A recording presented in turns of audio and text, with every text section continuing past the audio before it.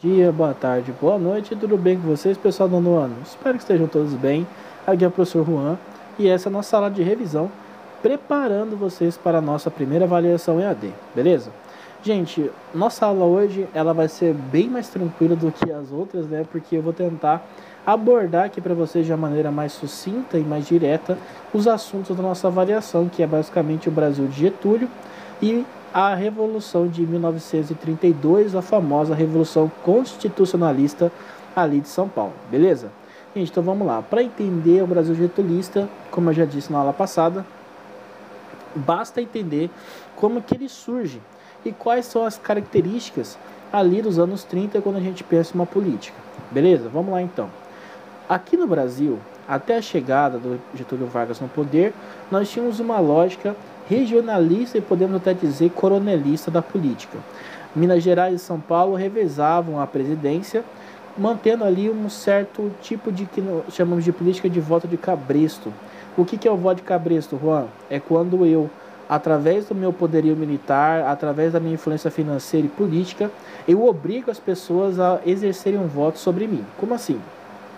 Imagina que eu sou um fazendeiro e algumas pessoas ali da região me conhece enquanto um fazendeiro, beleza? Sou Coronel Juan. E aí, quando chega a época da eleição, eu me candidato. Beleza, já que o voto é aberto e eu sei quem está votando, quem vai ser o louco de não votar em mim? Esse tipo de política é o que a gente conhece como voto de cabresto. Essa política econômica, que a gente pode até falar enquanto café com leite, que é quando nós temos a intervenção de um sujeito financeiramente abastado na política, como os coronéis na época eram, os fazendeiros, melhor dizendo, né? Lembrando que só pode virar coronel na época quem tem dinheiro para comprar esse título. Por isso que tem tanto coronel ali no período da República Velha. E esses coronéis, eles continuam fazendo intervenções in, inconsequentes na política local, porque eles estão pensando muito mais no ganho próprio do que desenvolver uma política pública de qualidade para as pessoas. Essa forma de política ela vai ser substituída através de 30 com um golpe de Estado que Getúlio Vargas vai romper com os paulistas. Vamos lembrar, ali em 1930 nós tivemos uma eleição onde basicamente quem venceu seria o candidato paulista, sendo que na vez deveria ser o candidato de São Paulo. Beleza. Nessa, nesse revezamento, o Getúlio Vargas ele lança uma candidatura própria junto com alguns outros dissidentes de outros estados que não aguentavam mais essa lógica de favorecer Minas Gerais e São Paulo, e consegue, através desse angariamento né, de, de dotes e de poderes econômicos, dar um golpe de Estado ainda mesmo no ano de 1930. Quando Getúlio Vargas assume, ele assume sobre algumas, alguns comprometimentos. Que comprometimentos são esses? Basicamente, ele vai, ele promete criar uma constituição nova que vai deixar esse tipo de república velha literalmente no passado, essa lógica do café com leite, algo que não vai ser mais usado e também vai estabelecer um governo provisório que logo mais vai ser instituído para que hajam novas eleições. Pois bem, como todo ditador, sempre que alguém dá um golpe de Estado, é muito difícil a pessoa falar assim: ah, não, não quero mais poder, para levar para casa. Ele vai manter o governo provisório até um certo período onde, mesmo em 31, alguns dissidentes e alguns aliados de Getúlio Vargas começam ali já a denunciá-lo como um ditador, como de fato ele era ainda ali nos primeiros anos do governo provisório. É sempre legal ver na história por que, que as coisas acontecem. Só falar aqui que ele conseguiu tomar o poder, eu acho que não basta para entender o evento, tá? Gente, então vamos lá. Vamos lembrar que em 1929 nós tivemos a quebra da Bolsa de Nova York e o mundo inteiro teve uma reformulação na sua política. Não estava mais em voga o tipo que era para ser, porque agora a economia foi literalmente para o beleléu, as coisas foram jogadas no lixo. No caso no Brasil, nós tivemos uma crise ainda mais perversa porque nós não tínhamos nenhuma alternativa de escapatória dessa crise. Em 1929, ou se, imagina só, gente, hoje o Brasil ainda é um, um país extremamente desindustrializado, com a sua agricultura como base da economia. Imagina em 1929, a cultura cafeeira ou então o plantio do café era o principal sustento não só de São Paulo, mas de muitos outros estados, como Alagoas, a parte do Rio de Janeiro e alguns outros estados mais do Nordeste, como Maranhão e Pernambuco. Esses estados eles acabam falindo em 1929, e esse é um dos motivos, inclusive, porque São Paulo vai romper com o famoso pacto que existia do café com leite. E o Getúlio Vargas se apresenta como essa alternativa ao São Paulo. 1929 para 30, nós teremos então a insurgência também dentro do exército brasileiro, porque alguns tenentes estavam descontentes com o salário que eles recebiam. O soldado recebe o famoso soldo, e o soldo dos tenentes para baixo, tenente, sargento, cabo, soldado, praça, era 10, 15 vezes menor do que o soldo de quem era capitão para cima. Sendo que até mesmo quando você chegava a coronel, lembrando que coronel é quem comprava o título, ele recebia um soldo. Então era muito absurdo, dentro de uma lógica de um país desigual, quem tem dinheiro para comprar um título receber salário. Pensa assim, você que é tenente, fez prova e se mostrou um bom soldado, você recebe menos do que o cara que tem muito dinheiro, nunca foi para uma batalha, nunca fez parte do exército, agora comprou o título e vai receber um salário muito maior que o seu.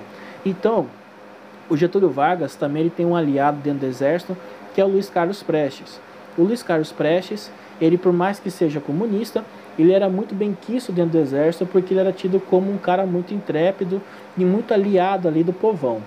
Essa parte mais baixa do exército, que a gente diz dentro do escalão oficialato, que é o soldado, o cabo, o sargento, é a maioria composta por pessoas comuns. Então, o Luiz Carlos Prestes também, por ser uma pessoa que vem da galera, que ele morava ali nas, na, na região mais pobre do Rio de Janeiro, ele vai ter uma aliança e uma amizade muito benquista pela população, principalmente desse baixo oficialato do exército. Então, quando acontece já as primeiras batalhas ali em 1930, com Getúlio Vargas rumando até o Rio de Janeiro, o Luiz Carlos Prestes já estava passando o Brasil inteiro com a coluna Prestes tentando incitar a população a se revoltar contra essa política do café com leite. E não dá para deixar de lado de lembrar que o Getúlio Vargas tentou as vias democráticas, só que ele percebeu como que a eleição na época era muito fraudulenta. E para piorar tudo, o seu vice, que era um cara tido quase como um santo na terra, que era o João Pessoa, ele assim, é visto, tá, gente? Não que a pessoa realmente seja o João Pessoa seja ali um santo, né? Que ele seja o, o próprio paizinho dos pobres, não, mas ele era tido publicamente como uma figura muito benquista. Ele foi assassinado dentro de uma confeitaria e aí, por não é besta nem nada, o Getúlio Vargas vai falar que isso na verdade foi uma retaliação política dos paulistas contra a sua chapa que era a Aliança Liberal. A Aliança Liberal ela é composta também por outras figuras fora do cenário de Getúlio Vargas, como a gente pensa ali do Rio de Janeiro, Rio Grande do Sul e São Paulo. Tinha gente do Alagoas, Pernambuco, Maranhão, inclusive do Mato Grosso. Mas ele não consegue ser eleito muito por conta das fraudes que eram muito normais nas urnas de papel. Ali na época era muito fácil você forjar voto. Teve gente que já tinha morrido e votou teve astronauta, teve alienígena, todo, todo tipo de gente, de ser humano, de bicho votou naquela eleição. E sendo que no final o candidato de São Paulo vai ser o vitorioso. Isso vai deixar o Getúlio Vargas ainda mais possesso da vida, somando a figura do Getúlio Pessoa que foi assassinada. E aí ele acha também que os historiadores vão até mesmo discutir, né, se de fato é, esse assassinato ele foi é, um motivo para Getúlio Vargas ir contra o governo paulista, se ele realmente achava que estavam vindo atrás dele, ou se ele só foi muito malandro e aproveitou uma tragédia. Eu gosto de, pensar, tá? E tudo leva a acreditar a segunda opção. Ele viu ali que o seu vice foi assassinado em uma rixa particular, se eu não me engano, João Pessoa, ele foi assassinado por, por questões ali de, de pulação de cerca, digamos assim, que ele estava cantando a mulher dos outros, aí o cara foi lá e se vingou dele. Mas ele vê que essa situação, como não tinha bem ali um, uma fama do João Pessoa ser um cara talarico, podemos dizer assim, ele vai aproveitar e falar: não, na verdade ele foi assassinado porque ele fazia parte dessa aliança nacional que nós tentamos tirar o poder de São Paulo, então os paulistas vieram aqui e assassinaram ele. Tudo isso aqui a gente está moldando o cotidiano e o contexto histórico da época para a gente entender por que, que esse golpe dá tão certo lá em 1930 e por que, que em 32 São Paulo vai se rebelar, inclusive vai tentar se desvincular do governo federal. Aqui nós temos um governo federal ainda na República Velha muito fraquinho, sabe? É um governo federal meio que fantoche que não que vai seguir a ideia que um estado quer para si. Ou seja, o governo federal é quem é presidente agora. É, São Paulo, que é o que agora o presidente é. Ah, então o governo federal é de São Paulo. Ah, agora o governo federal é de Minas Gerais. Ah, agora o governo federal é de São Paulo de novo. O Getúlio Vargas vai quando ele em 1930 consegue dar o golpe, ele vai fortalecer o governo federal a um nível que nem se imaginava ser possível. Ele vai transformar o governo federal de fato em uma máquina estatal, dando muito poder, inclusive para a sua figura maior que era o presidente da República. O presidente da República só vai começar a ser gente importante no Brasil depois de 1930. Que eu vou dar uma dica de beleza para vocês entenderem por que então que o Getúlio Vargas, no final das contas, não organiza logo uma outra eleição para tentar se reeleger.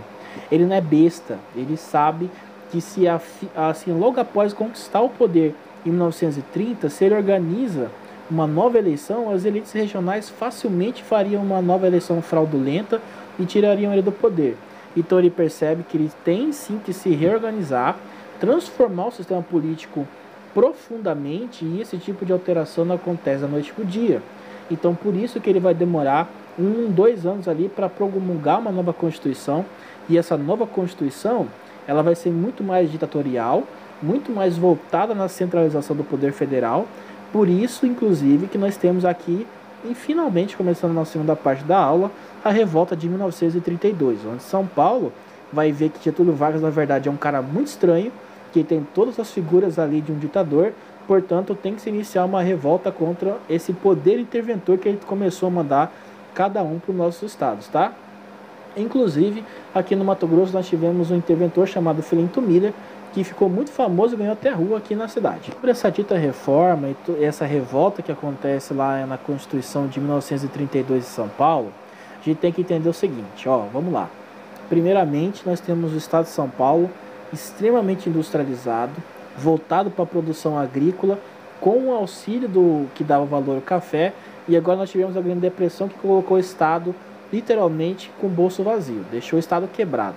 Aí vem em 1930, Getúlio Vargas consegue tomar o poder através de uma iniciativa dos estados que não eram aliados a São Paulo e por fim agora São Paulo, que era ali o topo do, do era a última bolachinha do pacote do Brasil, não é mais bem quisto e agora o governo federal na verdade está pensando, está olhando ali com os olhos de desconfiança para São Paulo gigantescos, né? Tá olhando ali tipo, ó, tô olhando o que está fazendo. Em 1900 então, em 32 o Getúlio Vargas já tinha nomeado um interventor para São Paulo e aí que começa a treta. Qual que é o problema? Os interventores que o Getúlio Vargas vai nomear para os estados, a maioria absoluta eram tenentes do exército. E esses tenentes eram os mesmos que estavam ali junto com ele durante a Revolução de 30. Então, o problema é um só. Não estou falando aqui que quem é quem vem de camada mais simples, quem é uma pessoa mais pobre, não tem capacidade para governar. Só que esses tenentes, na maioria das vezes, realmente não tinham nenhuma noção do que é uma política real, do que está acontecendo nesse estado. No caso, principalmente ali de São Paulo, ele poderia ter nomeado um paulista, mas não, ele mandou um cara de Pernambuco para lá, porque justamente ele queria alguém de confiança e até mesmo alguém que fosse completamente ao contrário dos paulistas para tentar segurar a onda deles ali. Beleza, Juan, mas e aí? esse pernambucano, o João Alberto, ele não consegue lidar bem com a elite oligárquica cafeeira que tinha ali de São Paulo. Essa elite vai até dar uns nomes bem sinistros ali, bem preconceituosos, chamando ele de o Pernambuco, o plebeu, o forasteiro, e não vão aceitar a, o mandato de força que ele fazia sobre o governo. Eles não aceitam nenhum mandato que o, o tenentista, ali no caso, João Alberto, passa sobre o estado de São Paulo. Isso vai deixar sempre uma rixa muito grande entre a elite local e o governo federal. Até que chega um nível de que o Getúlio Vargas fala assim: cara, esse povo aí não quer me obedecer de nenhum. Então faz o seguinte: toda vez que alguém sair para fazer manifestação contra o interventor, coloca a polícia e manda reprimir a manifestação. Só que essas manifestações começam a aumentar em termos de volume e de aderentes, principalmente, e as pessoas que estão aderindo a essa manifestação são na maioria das vezes estudantes. E vocês bem sabem que uma estudante às vezes é um pessoal um pouquinho mais enérgico, né? Eles, eles têm uma tendência a exagerar um pouquinho nas coisas. Na manifestação, principalmente, que a gente vai destacar aqui, que é a manifestação onde nós temos o atentado e a morte de quatro estudantes, ela vai ser marcada pelo símbolo de martírio, onde os quatro estudantes, o MMDC, que vocês já fizeram até tarefa sobre eles, eles vão ser mortos por forças do governo federal, e aí inicia-se uma campanha dizendo que o governo federal vai começar a matar paulista atrás de paulista, porque literalmente nós temos agora um tirano no poder. Paulistas até chegam a lançar um movimento armado, só que eles fazem uma leitura errada da situação da política brasileira. Eles acreditavam piamente que Getúlio Vargas era odiado por todos os outros estados, com exceção do Rio Grande do Sul. Quando eles lançam o movimento armado lá em 9 de julho de 1932, eles achavam até mesmo que o Mato Grosso ia se rebelar iria contra o governo federal. Só que o distanciamento desses estados era muito grande, principalmente São Paulo se via sempre como superior aos outros estados. Então, quando chegou o momento de precisar dos amigos, os amigos falaram assim: Ah, você não é bonzão? Então agora segura essa marimba aí sozinho. Ao fim do conflito, nós percebemos que São Paulo, na verdade, por mais que tenha sido uma força industrial gigantesca no Brasil, não se deu conta de que o governo federal é 10 vezes mais poderoso, porque conta com recursos infinitos e limitados e principalmente todas as outras indústrias que tinham no Brasil se voltaram contra as de São Paulo. Nós tivemos algumas invenções interessantes e alguns episódios curiosos. Né? Primeiramente, dos trens armados ou os trens blindados que tinham em São Paulo, mas lembrando que no Brasil ferrovia ela, ela é um ela é uma minoria, quase não tem uma estradinha de ferro para cima e para baixo, então esses trens de ferro não foram de muito adiante. Os aviões foram usados pela primeira vez numa guerra civil aqui no Brasil. O Santos Dumont viu isso e ficou destruído de vez, ele já sofria com um quadro de depressão e alguns vão dizer inclusive que isso vai influenciar mais ainda na sua, na sua, no seu suicídio, né? Uma tristeza que só, um drama total. E no final das contas, nós vemos ali que São Paulo acaba se rendendo ao governo federal isso vai acabar, portanto, com a Revolução de 1932, tá? No saldo geral, nós tivemos ali uma conquista de Getúlio Vargas sobre São Paulo, mas ele teve que declamar, principalmente uma, uma aliança a favor dos paulistas, porque ele via ali que essa situação seria insustentável. Em 1932 para 33, ele já vai decretar a Constituinte e em 34 vai ser lançada uma nova Constituição no Brasil e essa Constituição vai durar até o finalzinho ali da Segunda Guerra Mundial. Pessoal, espero que vocês tenham gostado, principalmente aprendido. Estudem para a nossa avaliação, tá? Bons estudos e qualquer coisa, sabe que eu estou aqui disponível para vocês. Um beijo, um abraço, até a nossa próxima aula.